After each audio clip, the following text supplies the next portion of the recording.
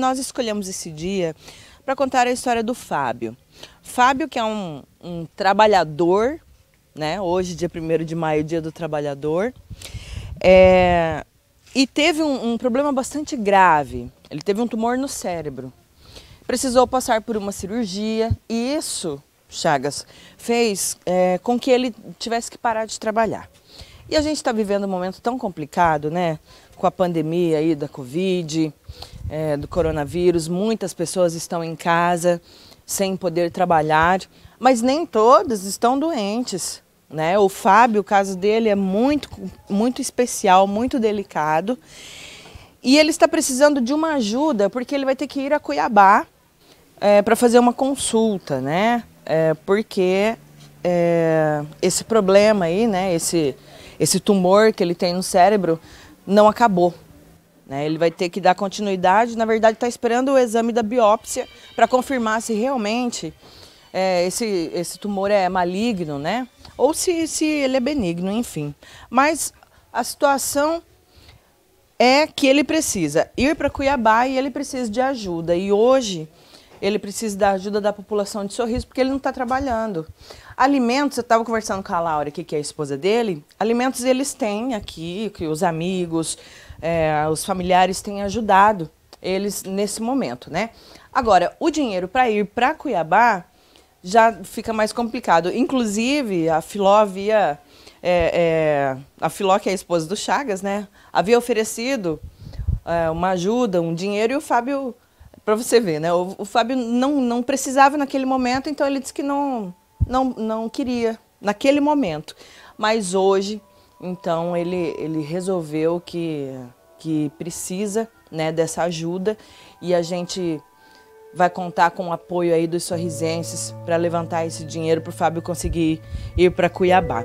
Por conta do, do problema né, do Fábio, ele está com um pouco de dificuldade para falar, né? Por isso a gente vai conversar com a Laura, que é a esposa dele, que está aqui ao lado dele, inclusive ao lado dele desde o início, né, Laura? Verdade. Desde que vocês descobriram isso, isso né?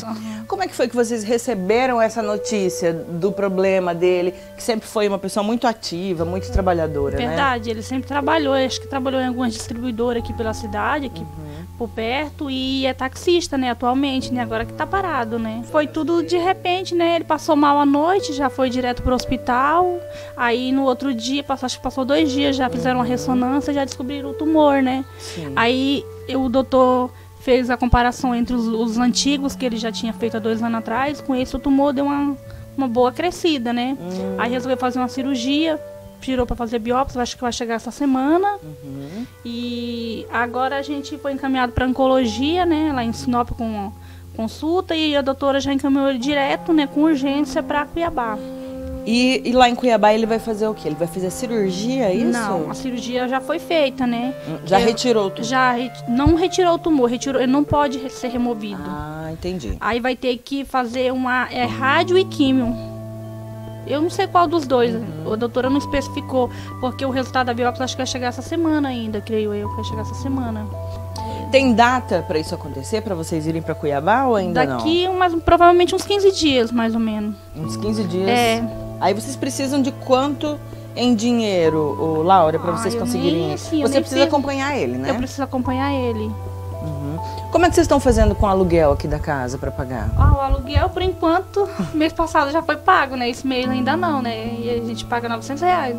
Só que livre de água e luz, né? Na casa, né? A gente paga 900 reais. Você, você disse que a dona da casa, inclusive, deu um desconto para vocês no mês passado, Porque quando né? ele passou mal, né? Daí eu fui lá, conversei com ela, certinho. Daí ela falou, não, Laura, te dou um desconto aí de 200 reais até teu esposo, né? Voltar ao normal, né? Só que até então, agora o negócio se agravou, né? Ele...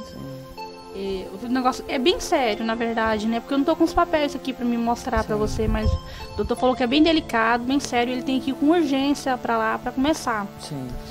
Você não trabalha, né? Não Laura? tô trabalhando atualmente, não tô. Todo o seu tempo está sendo dedicado, Todo né, ao cuidado é, do, com o Fábio. Uhum, tudo, tudo é, tudo é eu. Agora, antes no começo não, ele não conseguia, tipo, tomar banho, tudo era dependia de mim. Uhum. Agora não, ele já consegue tomar banho sozinho, consegue comer sozinho, né? Mas igual depende de mim ainda. Sim. Um consegue falar um pouco, Fábio? Será? Consegue, né? Isso. Como é que como é que você tá? Como é que você está se sentindo agora? Você está tá, tá bem? Está tranquilo? Bem, bem. Bem? É, é porque tem que, que ser, né? Você espera que a população de Sorriso te ajude aí? Você espero, conta com o apoio espero, da população, né? Hum, espero. Bom, gente, a, a gente sabe, né, da dificuldade do Fábio, afinal de contas é um problema no cérebro, o cérebro que comanda todo o corpo. É muito, muito difícil, muito complicado, ainda mais quando você não tem recursos, que você depende da saúde pública. Então, por isso, gente, hoje, é, nós aqui do Balanço Geral pedimos o apoio de você que está em casa nesse feriado. Põe a mão na consciência, né? E pense que você tem um trabalho, que você tem dinheiro, que você tem condições é, de se alimentar, você está comendo todos os dias, enquanto tem famílias, como aqui a família do Fábio, que não tem a menor condição.